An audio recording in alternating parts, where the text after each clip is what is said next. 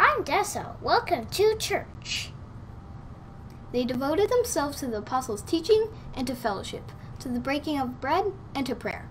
Everyone was filled with awe at the many wonders and signs performed by the apostles. All the believers were together and had everything in common. They sold property and possessions to give to anyone who had need. Every day they continued to meet together in the temple courts. They broke bread in their homes and ate together with glad and sincere hearts, praising God and enjoying the favor of all people. And all the and the Lord added to their number daily those who were being saved.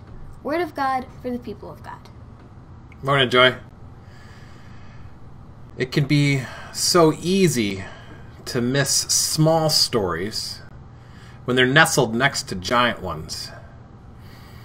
Today's story that Anna read comes after Pentecost in this fresh outpouring of God's Spirit to his people. And the disciples found themselves in a strange new existence. Their world had changed drastically. And in fact, the entirety of human existence had just changed from underneath them. You see, they no longer needed priests or to offer sacrifices on their behalf. And God didn't communicate just through prophets, kings, and tablets, but God's own spirit saturating their hearts and their souls. People could literally feel God's presence within them. And people didn't need to fear death anymore.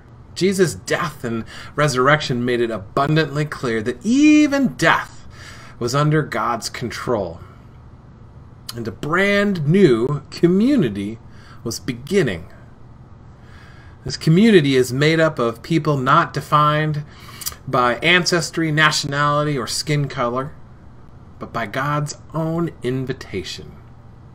And this community would be defined by sincere, action oriented love. And these verses mark the creation and the beginning of the church. And they give us a roadmap today for doing life in this new community. I, I want to read it one more time. They devoted themselves to the apostles' teaching and to fellowship, to the breaking of bread and prayer. Everyone was filled with awe at the many wonders and signs performed by the apostles. All the believers were together and had everything in common. They sold property and possessions to give to anybody who had a need. Every day they continued to meet together in the temple courts. They broke bread in their homes and ate together with glad and sincere hearts, praising God and enjoying the favor of all the people. And the Lord added to their number daily those who were being saved. I actually really I really like these verses because this is how we do life as a community. This is how we do church. It's it's it's really simple. Learn together, eat together, help other people, and gather, hang out with each other. I, I get wary of using scriptures to extract mission statements, but I think we can follow this reading as maybe a roadmap. You see, this community is inherently attractional. I, I want to be a part of this. It's not try hard, repackaged, overly branded church. It's it's real and it's authentic. And I think this is what the world needs. Especially now. We need simple authenticity. You see, our world has changed drastically. And the reality is, as much as people would like, I have a feeling this isn't ending soon or with a definitive conclusion. This new way of life in which we've found ourselves is now a part of our new reality. We're going to have to rely on the Spirit, the Spirit of God, to figure out how to do life in a brand new way, how to, how to do church in a brand new way. Just as some bewildered confused disciples had to a few thousand years ago. We will have to walk by faith. And we're going to have to learn how to serve and love each other in brand new and creative ways. Biblical order is always important. There, things are hardly ever random in their lineup in the timeline of the Bible, and so you have to pay attention to the order of stories. The story immediately preceding today's reading is the Holy Spirit coming at Pentecost. Peter then establishes a new way of doing church, and then there's our little set of verses this morning about what the church was up to, how it functioned, and how their time was spent. You have all these epic accounts of tongues of fire resting on the apostles. They began to speak languages they didn't know before. And hundreds were converted to the community of Christ followers of the way. And then there's this little narrative smashed in there. And the question is is what is the author trying to say? What is God trying to say by including this story where it is? I love that while everyone is amazed and records in scripture all the miraculous God events happening around them, they also thought it was impressive to mention the kind of community they were living in. I bet you have experienced this. Actually, I'm, I'm gonna I'm gonna guess that, that uh, you have, and and this is my favorite thing about church. Don't don't get me wrong. I I love exuberant worship and uh, impressive mission trip stories in the uh, epic splendor of Easter and Christmas. But my favorite thing about church is the people and the fellowship. When people ask me what do I love about church, I tell them that that there's this sweetness of fellowship. There's this authentic love that just permeates the fabric of this community. That it's not the building, the chairs, or, or even the food at the potluck. It's the people. When you see how a, a community of people takes care of each other, encourages one another, or mourns a loss together. That's what's impressive to me. I, am not in awe of, of church buildings or yearly celebrations. I am in awe of God working through people.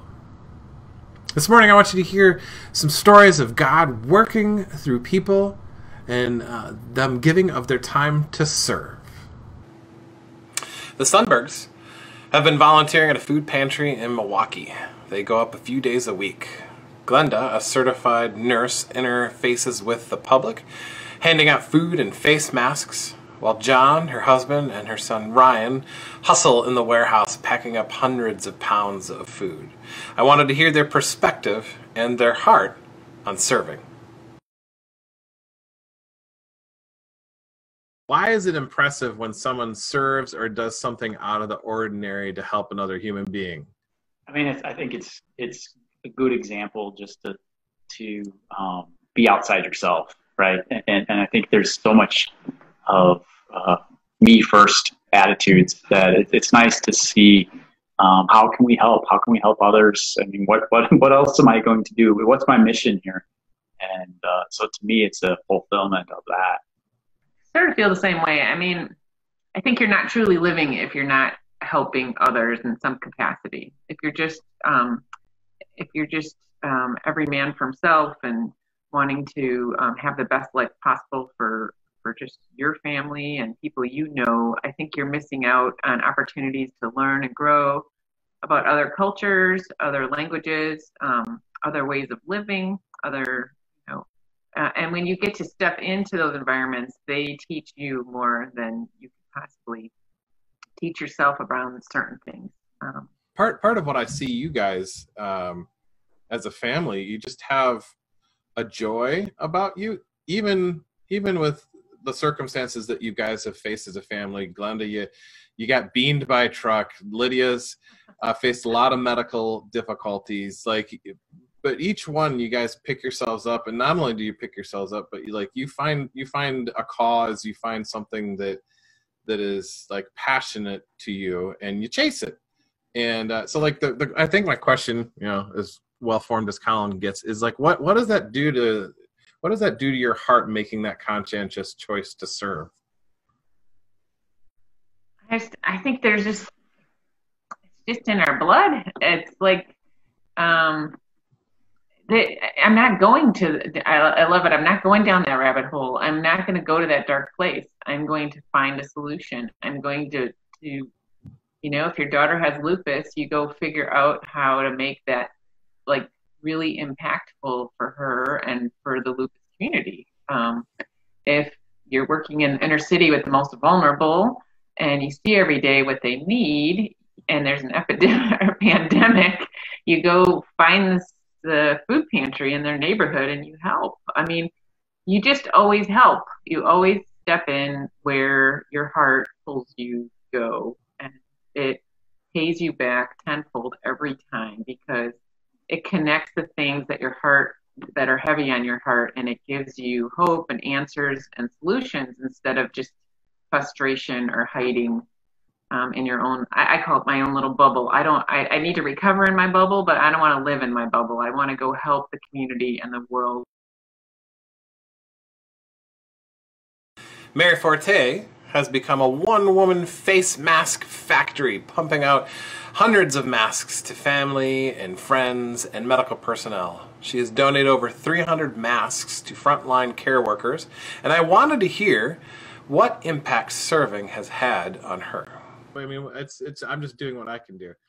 Um, but for the person that's that's wearing the mask that you made them, that's a pretty big deal. Like, you know, or the person that got uh, some food from the Sunbergs, or I know for me, like if I'm having a, a bummer of a day, I can tune in at 6:30. Right. you know, and, and right. get a little burst of joy from the Flories. Um, so like, was I, I'm trying to form my question, but was it something that was a conscious choice, where, or was it just kind of an automatic, where like, well, that's just what you do, you know, like, uh, what clicked in for you? Because like you, you, you definitely, you have a trajectory and a purpose right now.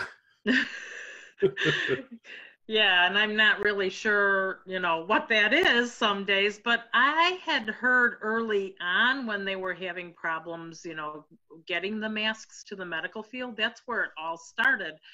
And I knew I had a ton of fabric at home and I knew that, you know, I I had the skill set to do it. And I think that it just was like something that my God was telling me, you need to do this. You you need to help these people who can't be protected without the resources that that normally would have been available. Now I know the ones that I make are not nearly what the N95s are, but they were certainly better than nothing because they had a pocket in them. And yeah, what do you think it does to a person's heart uh, after a long period of serving. Do you notice a change uh, in yourself or others after, like, you know, doing things for others? Yeah, I think so. I think it all started out, you know, small with the quilt ministry um, and being a part of that and, and just knowing that you're reaching people and what it means to them. And, and personally, um, that ministry um, hit real close to home a couple of weeks ago when my brother-in-law died, and we sent a quilt from church to my sister, and and just hearing how that impacted her was huge. Because um, we get notes every once in a while but generally the quilt ministry we don't see a lot of feedback and we don't need a lot of feedback because we're doing it from our heart and knowing that you know the prayers are, are what's important. But when it impacts you personally and and you get feedback from something like that um, that's huge. And with the masks just you know the thank yous that i've gotten from the nurses and the nursing homes and stuff um, telling me what a difference it's made i think that that just makes you want to do more and more and more.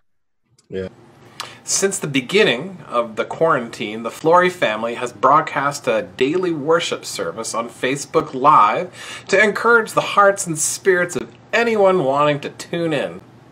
Almost every day at 6:30 p.m., you can catch them singing their hearts out to God and also making it possible for others to join in. I wanted to know what inspired them and how they feel about serving others.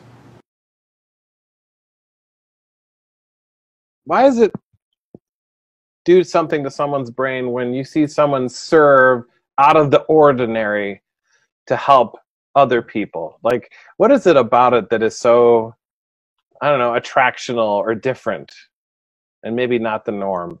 I think sometimes for me, it makes you reflect on what you have and and where you're blessed in your life and realize hey there are things you can do and and and sometimes any little thing matters right?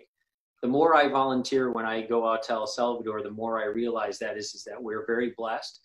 This family i think we we try to humbly know that we are blessed with certain talents. And so um like this i believe i believe it was annie's idea to start doing this. And then we kind of just said hey let's pardon? I said Annie and Sam. yeah annie and sam's idea and said let's just you know uh, start doing this and we started seeing our family and our friends and stuff so i think for me it just um you know i, I don't read through all the comments always uh, but when You I shouldn't read mine. Yeah. No, Sometimes when I see those comments from family, friends, people that I don't know, because Robin's usually the one Facebook Live, and I, I don't know people that she talks to sometimes, and it's just sometimes it's as simple as what you just said of, "Hey, I just needed this," and you know what? We're doing it kind of for fun, right? Not necessarily because we're trying to do that, but it just it makes me feel good that we do do that sometimes and make Mary and hearing about the Sunbergs and just watching so much what other people are doing. I see people just decorate their windows and just help out neighbors. Like I know they're doing it not because they're in a different space, but in spite of the yuckiness, they're still like pushing forward, which to me takes even more energy. Yeah. Move forward and to try to find happiness. Yeah. out we should probably we should like do this for fun at first. Um so we went on live one day and then you thought it was a really good idea so or mom thought it was a really good idea so she was like yeah let's keep going. So um so we kept going and and i don't know like it's it's the little people in my life that i haven't talked to in like three years that have like texted me and were like hey i came to your live today and i really needed that. And i was like i haven't seen you in like four years amazing so it's just the little things like that like we do get out of it it's just like people do come up to me or like text me and they're like this was amazing and i really needed this so What do you think it does to a person's heart when they consistently serve other people? What what does it do to your heart when you consistently serve others? what does that mean? That's that's the big hairy question. How do you feel? when how does it make you feel how does it make people you feel doing- when you keep doing things for others and you serve others what does it do to your heart Oh, like, how does it make, does it you, make feel? you feel well, it affects my heart, like, right with love and joy. That that's good Mic drop. That's good. Um, I think after a while, it really changes how you look to yourself and other people because, like, after just knowing that it also makes other people feel good, like, just knowing that also makes you like, oh, okay, like, I feel like it's a really good effect no matter what. If it's like a little thing, if it's a big thing, like, I just think it's always like a good outcome. Now I know that we can't meet in uh, buildings and, and breaking bread looks a little different. But I have to believe that the same spirit that was poured out on those first believers in Acts 2:42 that that gave them hope and inspired them to share what they had I have to believe that spirit is still here with us. So today I'm going to ask that a, a fresh wave of God's breath, Holy Spirit pneuma, be poured out. I say, pray big. So let's go to God in prayer together. God, wash away the temptation to think of ourselves as, as individuals protecting what is ours and inspire us to think of others. Show us what needs to be shared and not hoarded. Show us how to create fellowship and community in a brand new way through the power of your Spirit. God, help us again have an overwhelming sense of awe and wonder at your action in our midst. And God, we believe that current circumstances cannot stop the power of your church gathered by your Holy Spirit in the name of Jesus. Amen.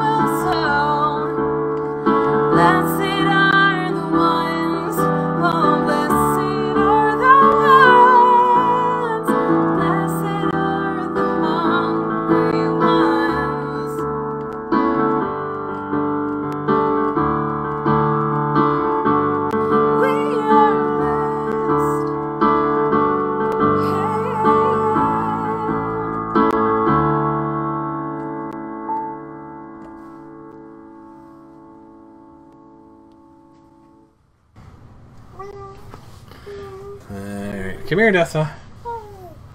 Come here, Anna. So there you go. You and cameras. Outstanding. Alright, so look at that one. That, that, not that one, that one. Alright, Anna, come on uh, over here a little bit. Nope. There we go. Just because your head's being cut off. Do you see it? Yes. Okay. All right, we're gonna put this animal right here for now. Okay, please. There we go. Okay. And we're gonna try to be happy because they're gonna they might be a little sad as well. Okay. All right. Hi, Joy. Uh, this is the Cranmer family, and uh, this is the by far the strangest goodbye uh, that I think uh, has ever been done. but we want to say uh, a heartfelt thank you and goodbye to you, Joy. Uh, not even a goodbye, kind of a see you later. We're up the street. and our hope is that we will partner in kingdom activities from now until forever. Uh, we do want to say that we are so very thankful for all the love and friendship and care our family has received. We would consider Joy our spiritual home. It's where both our kids learned uh, about Jesus and learned about how much He loves them. And uh, I think the very reason that we are able to launch into a new season of ministry and taking care of a, uh, of a new flock of people is because of all the love that we have experienced at Joy. Um, and uh, it's that kind of sweetness of community and love and care uh, that we are already starting to see at St. Mark's, and we can't wait to be nurturers of the community at St. Mark's that we've experienced at Joy. We love you tons.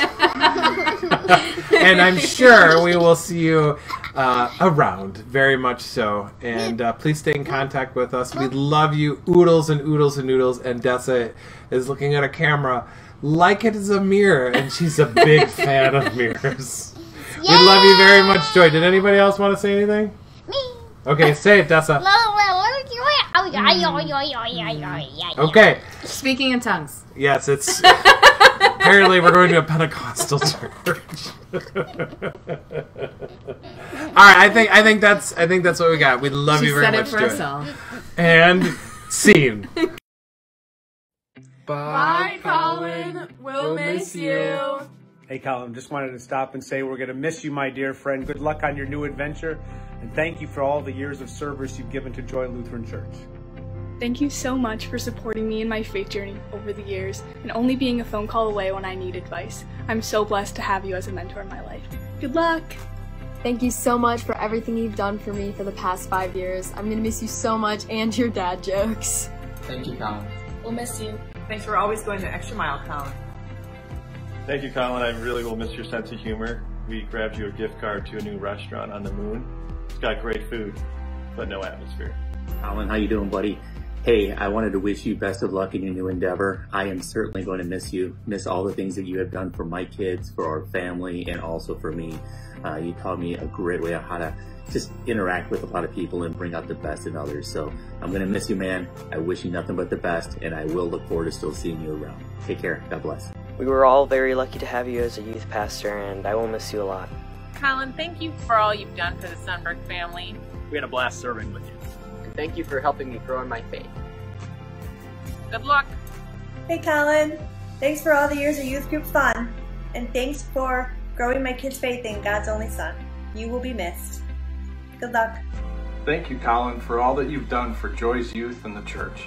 You will be greatly missed. And I will definitely miss watching you knock down the pillows at pads. Hi, Colin. Kristen here. I just want to share two quick memories with you. The first one being our first mission trip together when we ended up in the ER, the ER with Luke. Everything ended up being fine, so that was good. And just the second memory is just all five mission trips wrapped up together and just the amount of laughter and laughter and laughter till our sides were split open that we had, especially this past one when we ended up having to go look for hot dogs on our arm. anyway, love you, Colin. Alan, thanks so much for all the things you've done for the church and for my family and for my kids. And I want to especially thank you for the five weeks of freedom that you gave me, one each summer.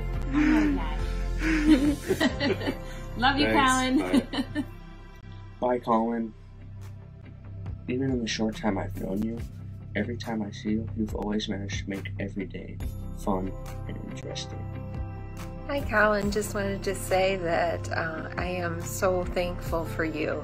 I'm thankful for the ways you have touched my kids' lives and the way you have brought them to Jesus. Uh, we'll miss you. Wish you all the best.